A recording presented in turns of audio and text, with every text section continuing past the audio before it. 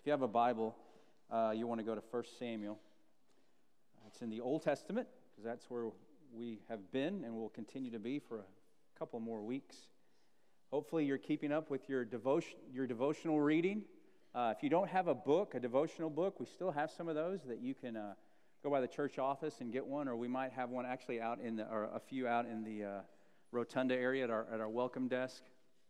And uh, it's a great series that we're in together as a church family. And I love it when we do this because we're all together on the same page. We're, we're, we're, preaching about it, we're talking about it in our Bible study groups, and we're doing devotionals about that. And it just seems it's just good for us as a church to periodically come together and, and just really focus on one thing. And so that's, that's what we're doing. And, and I'm glad that you're here. And uh, uh, if this is your first time in church or first time back in church, um, I, again, we just we want you to just sit, listen uh, if you have questions, feel free to ask. I'll be in the rotunda afterwards. We can talk. Our pastor will be there. But anyway, just it's just good to, to be with you this morning. Um, any any procrastinators in here? Just a little show of hands. Good. We're going to have a, a, a, support group meeting after this is over. So I, I just want to tell you, I hit the height of my procrastination my freshman year in college.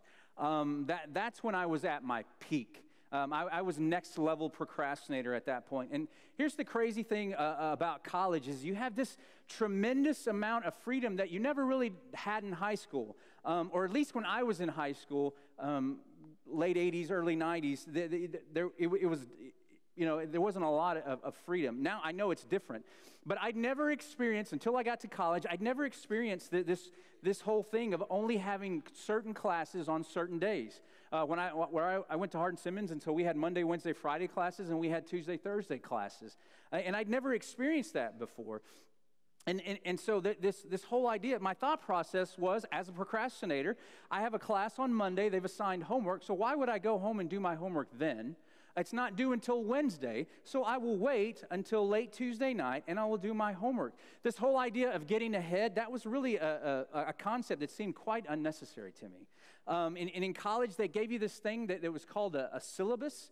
I don't know if you know what those are, but um, I, would never seen one before. And so, I, and in the syllabus, it told you all about the assignments and when they were due. And they would give you assignments on there that weren't due for weeks.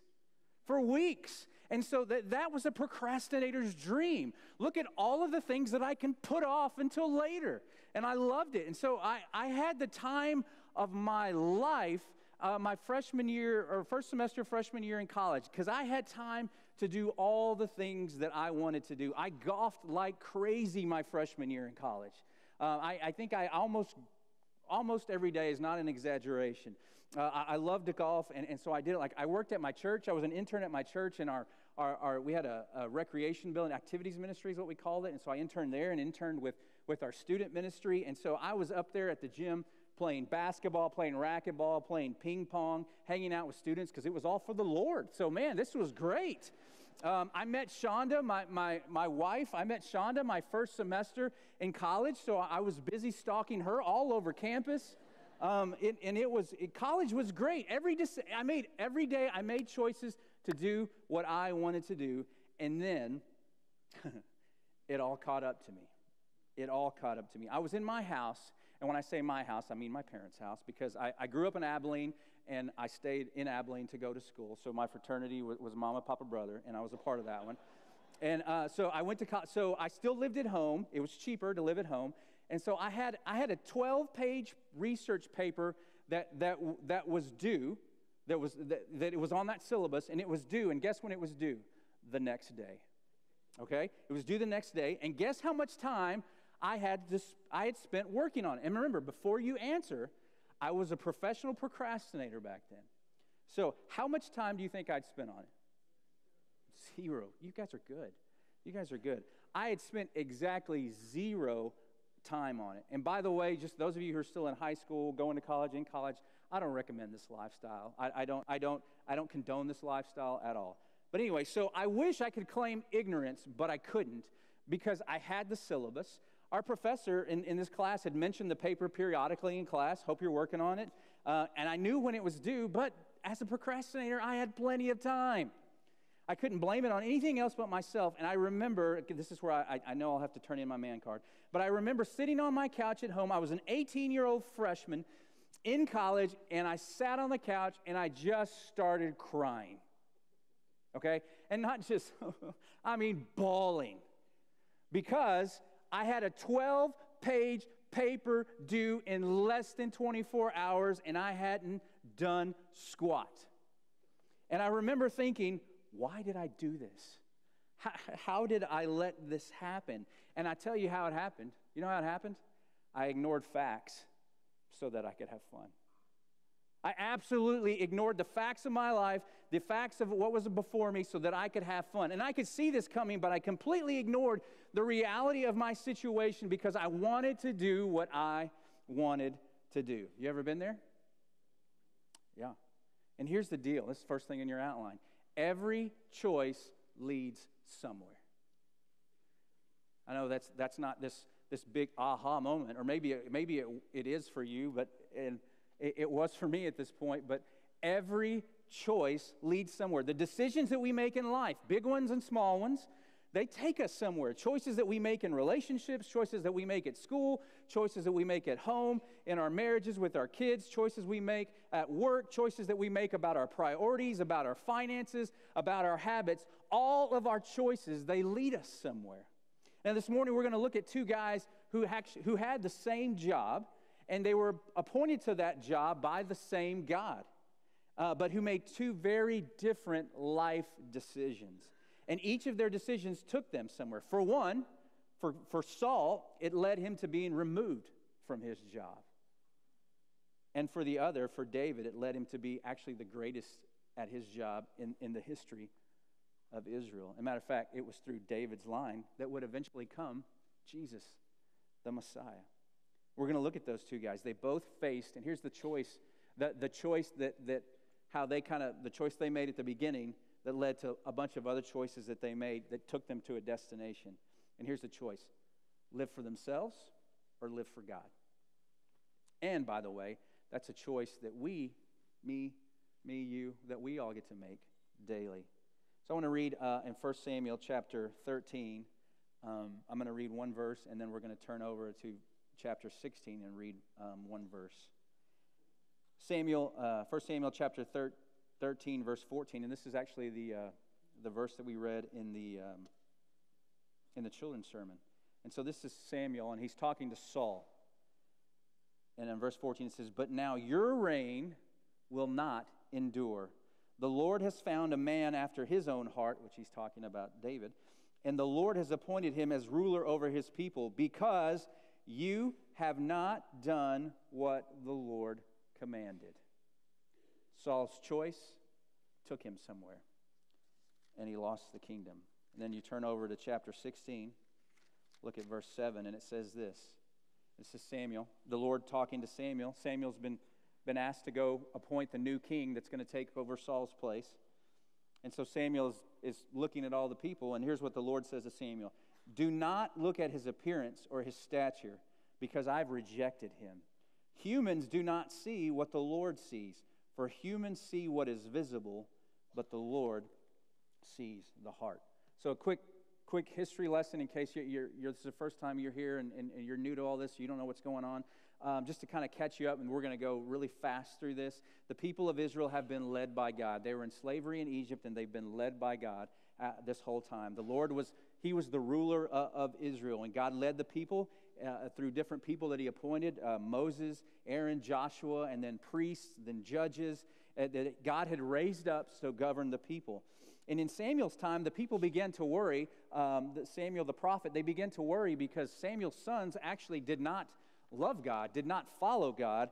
And so they were, they were real worried about who was going to be next, who was going to be the next voice of God in their lives.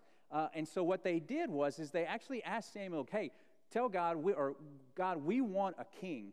And, and, and not because we think, God, we want, we want to search after your heart or search after your, you know, we want to do what's right in your eyes, God.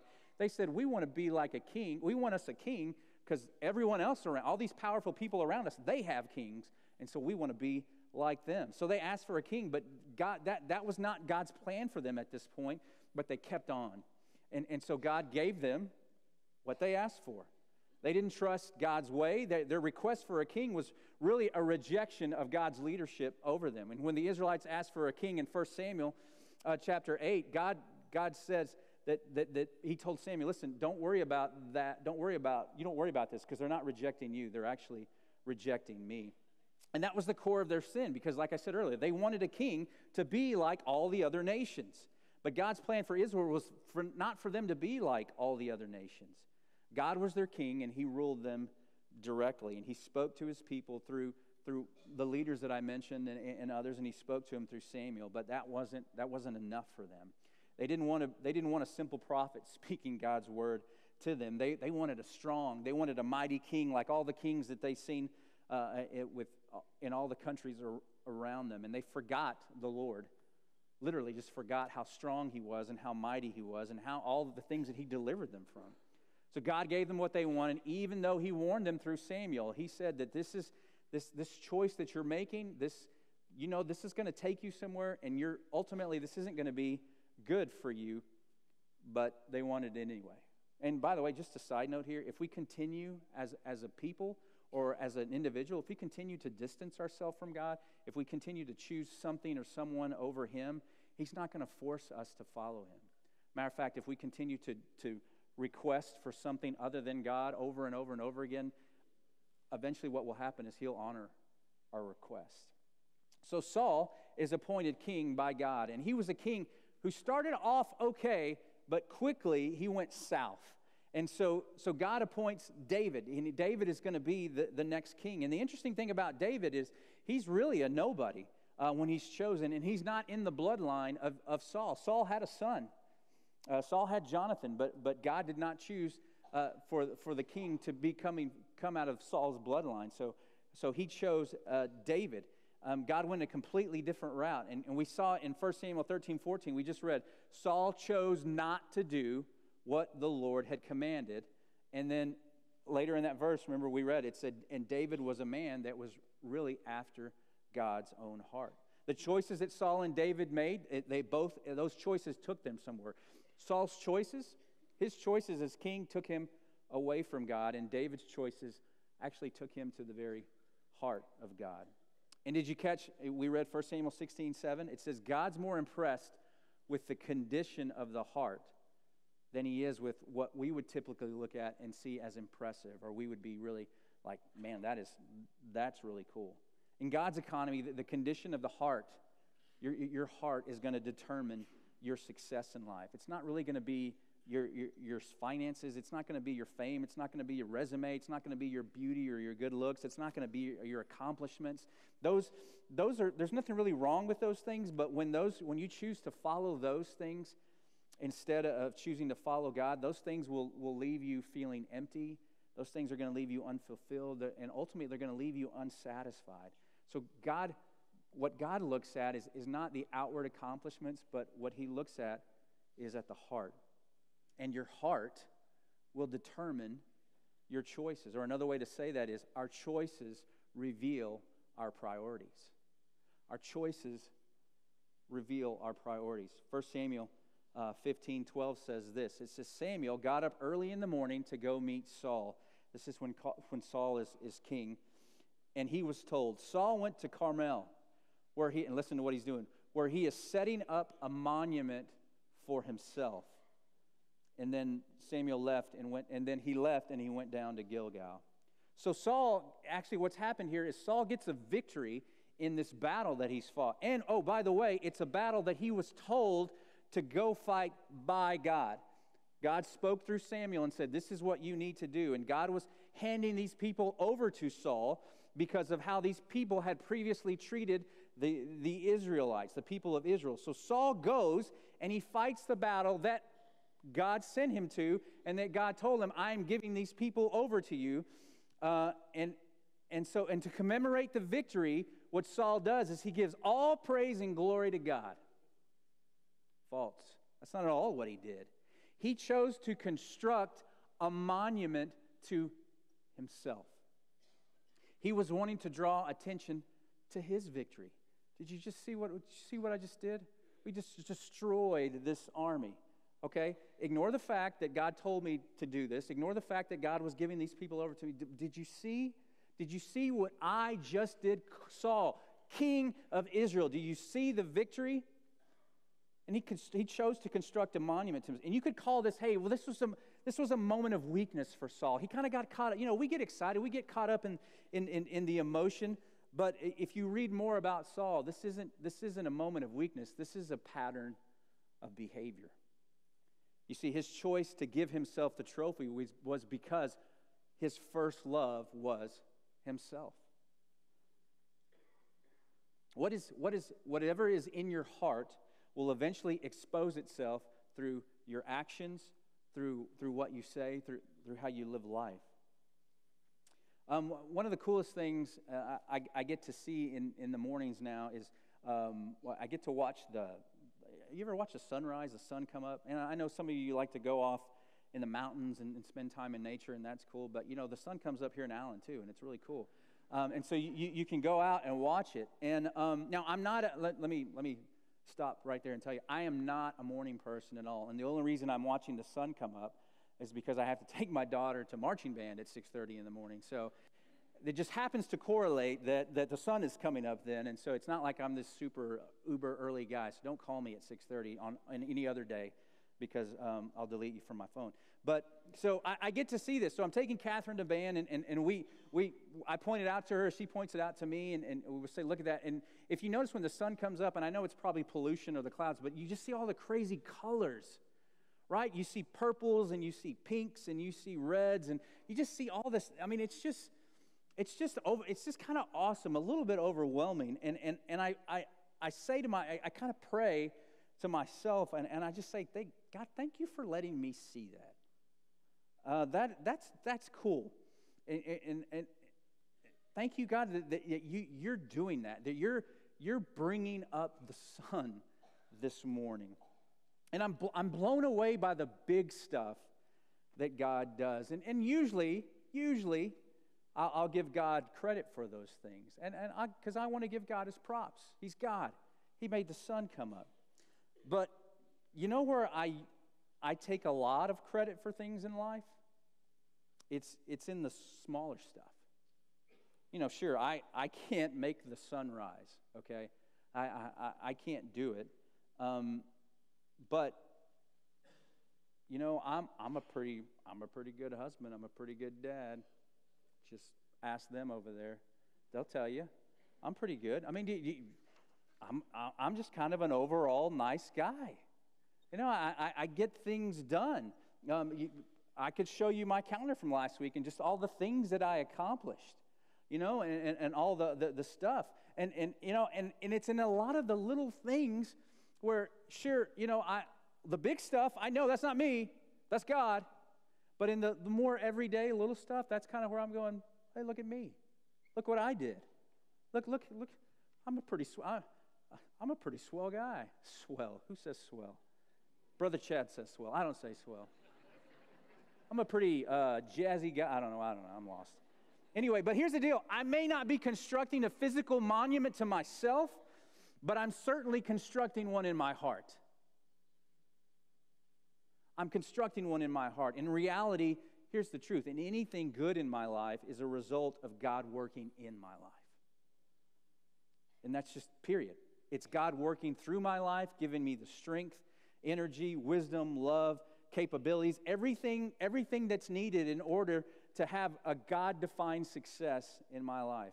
I've got zero to do with it. If there's anything good in me, anything that, that, that, is, that, that points people to Christ, anything that in me that, that people would look at and go, awesome, that's all God. That is all God. Saul made a monument to Saul because Saul was all about Saul. Say it again. Saul made a monument to Saul because Saul was all about Saul. I make a monument in my mind and in my heart sometimes because sometimes I'm all about me. I'm all about Jimmy. And the choice to be all about me leads me somewhere. It does. It leads me somewhere. It leads me to ignore God. It leads me to love me more than God. It leads me to, to, to feel like that people owe me something because, hey, look, I am good. My family owes me something because I'm a pretty decent pretty decent guy at home. Hey, you guys as a church, you owe me something because I'm a pretty decent guy around here or, or whatever. You owe me something because I'm such a good dude. And that leads me to make much of me instead of making much of Christ. And guess what? That path leads me nowhere good really fast. Acts 13 22. This is uh, Paul preaching. Uh, and he's kind of going through a quick history of the people of Israel trying to get from, from where they were in Egypt to, to the point where Jesus came on the earth. And he says this, and he's referencing David. He says, after uh, removing him, he's talking about Saul, he raised up David as their king and testified about him. This is God testifying about David. He says, I have found David, the son of Jesse, to be a man after my own heart. And look at the next part who will carry out all my will.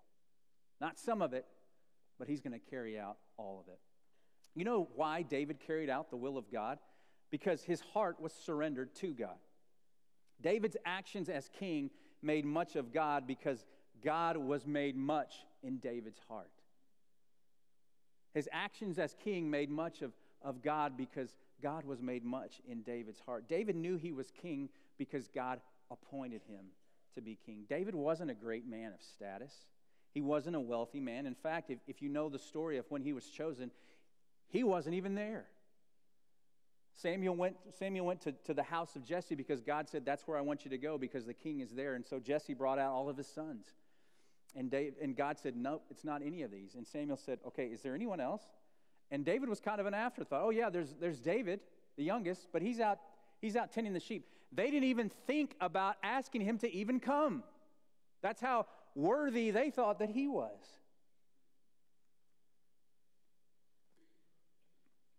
But David understood that, so when he's chosen, David understood that the victory that he would have was because he served a victorious God.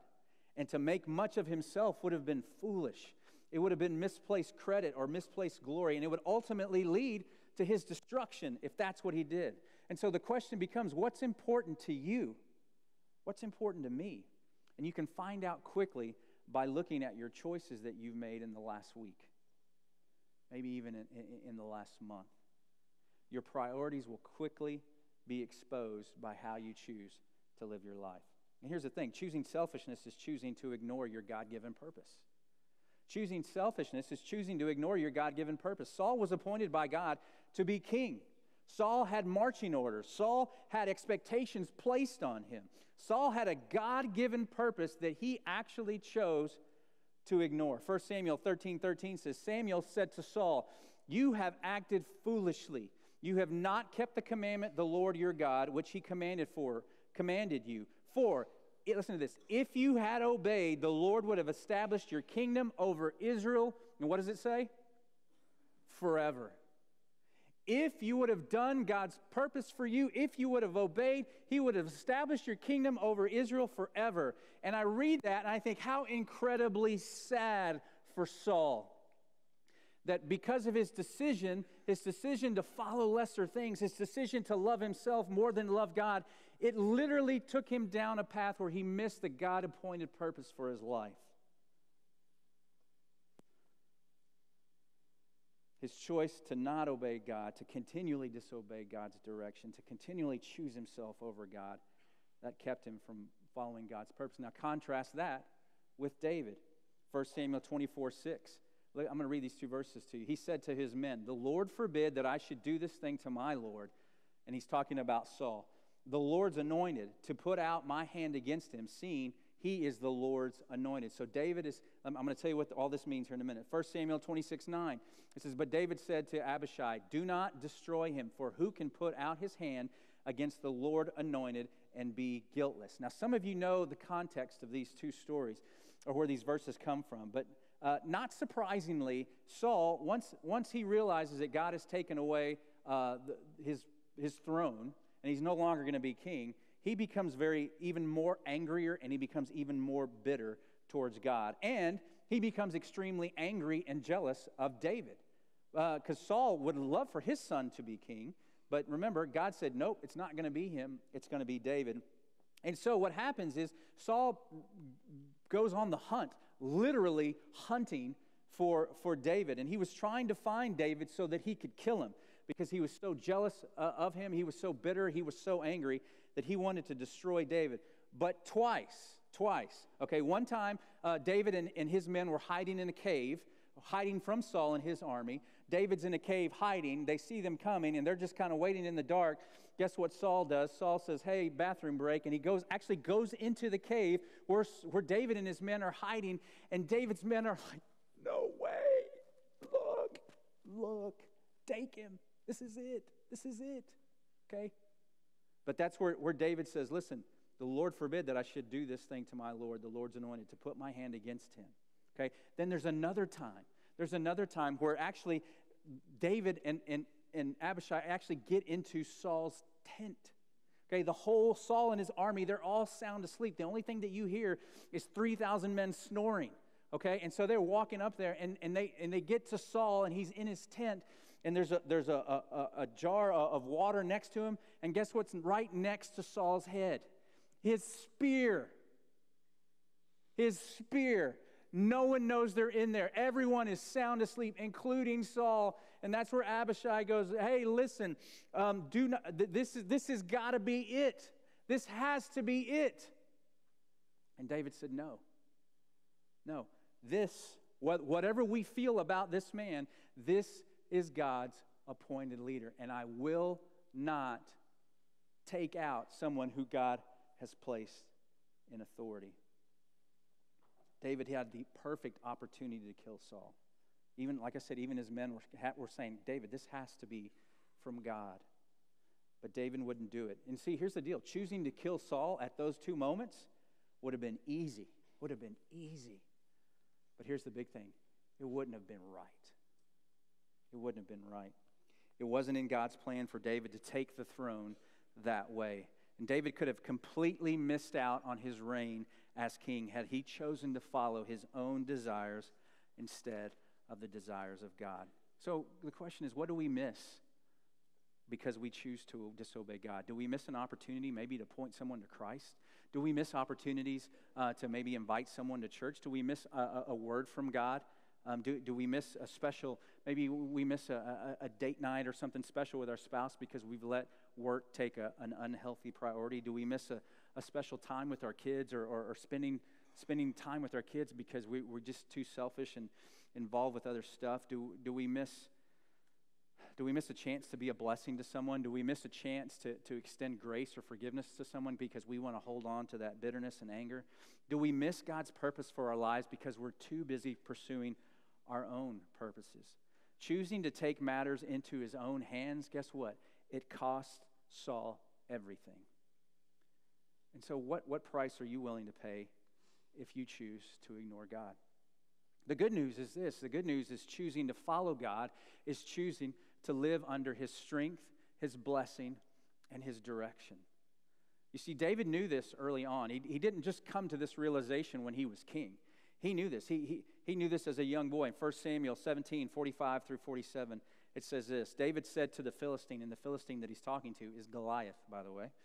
You come against me with sword and spear and javelin, but I come against you in the name of the Lord Almighty, the God of the armies of Israel, whom you have defiled or defied. This day the Lord will deliver you into my hands, and I'll strike you down and cut off your head. Oh, would you like to hear that?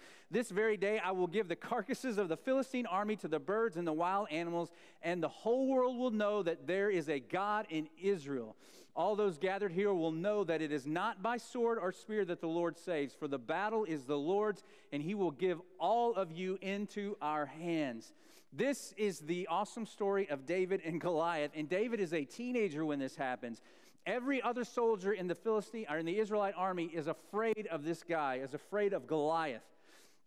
But David knew who he belonged to and he knew who he was fighting for. And it's, it's kind of hard not to get pumped up when you read the, those verses where it says, You come at me with sword, spear, and javelin, but I'm coming with the Lord Almighty God, which, by the way, You've made mad. You've defiled him.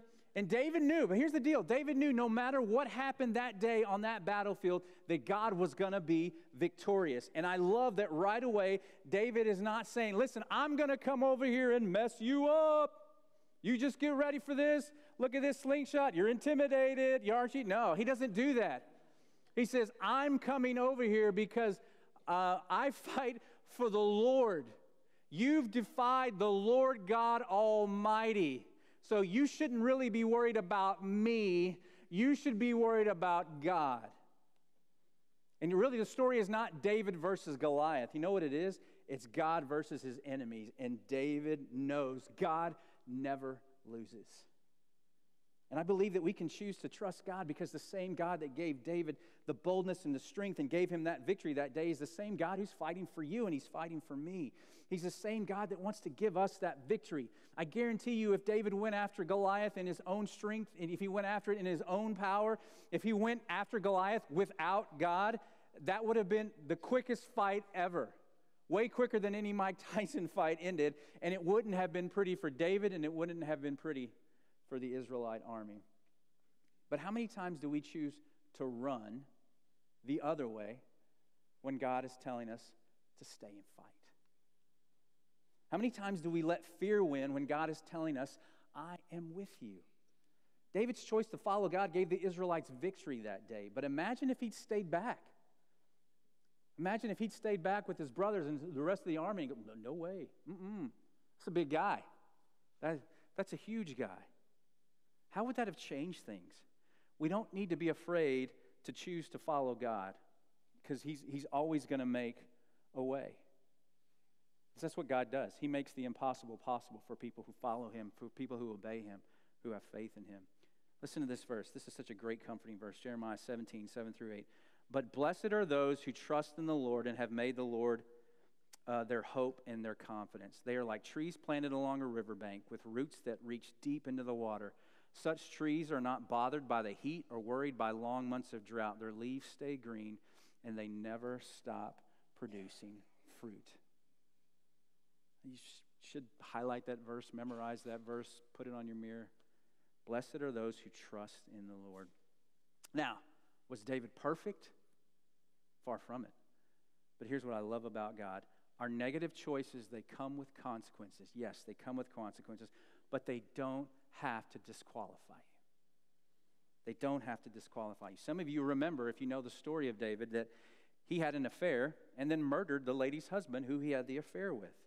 Now, that choice took David down some roads uh, that he had to deal with for the rest of his life. He had to deal, the con- deal with the consequences for that choice for the rest of his life. But instead of becoming bitter, instead of becoming angry, or instead of deciding to quit, what he did was is David turned to God. Psalm 51, 10 through 13. It says, God, this is David pleading to God after he's been confronted by his sin. God, create a clean heart for me and renew a steadfast spirit within me. Do not banish me from your presence or take your Holy Spirit from me. Restore the joy of your salvation to me and sustain me by giving me a willing spirit. Then I will teach the rebellious your ways and sinners return to you. You see, despite David's, despite David's actions, God's love never wavered for him. And despite our own actions, God's love never wavers for us. And David knew that. He knew he'd blown it. He knew that he had absolutely blown it. And he knew that the only way that his life would amount to anything was if he humbled himself and went straight to God to beg for forgiveness and to make a new start. And for some of you here today, this is, this is why you came to this, to this. This is what God wants to tell you. Your negative choices, they will have consequences, but they don't have to keep you from being used by God and allowing God to create a clean heart and begin a new chapter in your life. Some of you look at your past or look at your choices or your current reality and saying, There's no way. But let this be a reminder to you God makes that way possible. 1 John 1 8 through 9 says, If we say we have no sin, we're deceiving ourselves and the truth is not in us. The truth is, is that we're all sinners. Verse 9, if we confess our sins, he is faithful and righteous to forgive us our sins and to cleanse us from all unrighteousness. That's the good news of Jesus Christ. We're all sinners, but because of God's love, Jesus died on a cross to pay for our sins so that we could be forgiven and so we could have a brand new start. Your choices come with consequences, but they don't have to disqualify you. Here's how I want to close, and our worship team can go ahead and come up. Here's how I want to close. You have this card. Go ahead and take this card. And if, you, if you've lost yours, there's some blank ones up here. You can come up here and get them in just a minute. Um, so, What, what I want you to do is, on one side of the card, I want you to write down something that God has been asking you to do or to stop doing. Something that God has, has been asking you to do or stop doing. And then on the other side, here's what I want you to write I want you to write the main excuse that you've been giving God as to why you're not doing what God is asking you to do. So, on one side, I want you to write down what's something that God has is been asking you to do or maybe asking you to stop doing. And on the other side, what I want you to do is write down the main excuse that you've been giving to God as to why you're not being obedient. And um, Jeff is going to be playing, our worship team is going to be singing. And here's what I want you to do when you finish that, I want you to come and I want you to come up to this altar and I want you to lay this card down. Okay? Don't put your name on it. Don't put your name on it. But I want you to take this, and because here's, here's what this is I, I want to give us an immediate application to what we've just heard, right? We said that our choices take us all somewhere, our decisions lead us somewhere. And this decision, whatever, you, whatever, whatever you've written, this decision to the excuse that you've given God, that's taking you somewhere, and it's not taking you to where He wants you to be. So let's let's apply what we've just heard immediately. Remember, God says, let's not just be hearers of the word, but let's be doers. So let's be doers of his word. Let's write down the thing that he's been asking us to do or asking us to stop doing. Let's write down the excuse. And then, with, with just a, a, a, a time of just, this is kind of a symbol to say, God, I know where this decision is taking me, and I want to stop. Or, I know where this decision is taking me, and I want to start, and I want to obey you. That's what you want to do. Write one side, what's one thing God's telling you to do or stop doing. Write the excuse why you haven't been doing it, and then I want you to bring. And when you drop it off here, you can drop it right here, and you can leave. You can drop it and stay and pray for a little bit. Our worship team's going to be leading us during this time, okay? But I just, I just, I just think it's important that we do something about what we just heard.